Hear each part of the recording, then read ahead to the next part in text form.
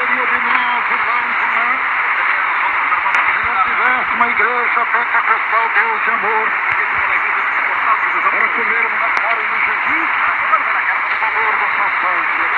Porque a única igreja no mundo inteiro que come da carne de Jesus e bebe do seu sangue é a igreja pentecostal do mundo. Portanto, todos os irmãos do